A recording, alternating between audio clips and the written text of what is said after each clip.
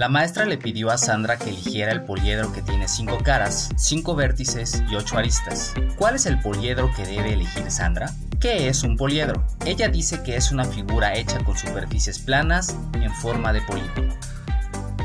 Es tridimensional, tri que significa 3 y dimensional de dimensiones, es decir, que tiene tres dimensiones, alto, largo y ancho.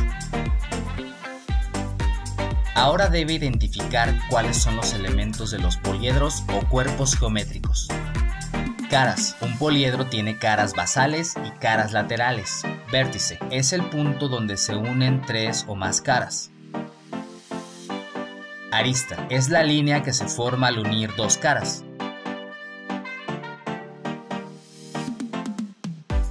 Sandra sabe que los poliedros se clasifican de acuerdo a la forma que tienen. Los prismas tienen dos caras basales con la misma forma y las mismas medidas. Están colocadas en posición paralela. Las caras laterales son paralelogramos, usualmente un rectángulo o un cuadrado. Las pirámides tienen una sola cara basal en forma de polígono. Las caras laterales tienen forma de triángulo, usualmente son triángulos isósceles.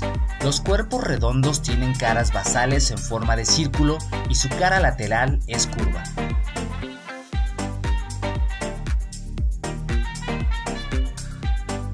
A los cuerpos geométricos se les asigna el nombre de acuerdo al tipo de poliedro que son y a la forma de la base que tienen, pirámide cuadrangular y prisma cuadrangular. A los cuerpos redondos también se les denominan cuerpos de revolución, porque pueden obtenerse a partir de la figura que gira alrededor de un eje. Ambos cuerpos tienen un círculo en la base. Los poliedros redondos que observamos son el cono y el cilindro.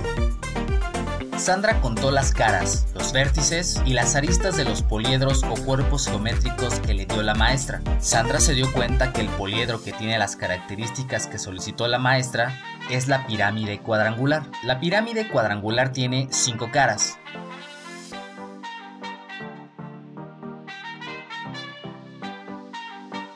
Tiene cinco vértices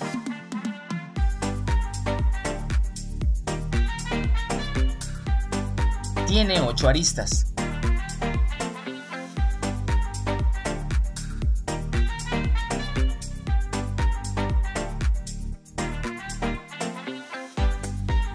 El poliedro que tiene 5 caras, 5 vértices y 8 aristas es la pirámide cuadrangular. Sandra llegó a la conclusión de que la cantidad de caras, aristas y vértices que tiene un poliedro depende del tipo de cuerpo geométrico que sea, y de la forma de la base. Con los cuerpos geométricos también puedes resolver problemas como Podemos ver que el cilindro tiene mayor capacidad que el cono. También puedes identificar los polígonos con los que se construye un cuerpo geométrico. El prisma cuadrangular está hecho con cuatro rectángulos y dos cuadrados.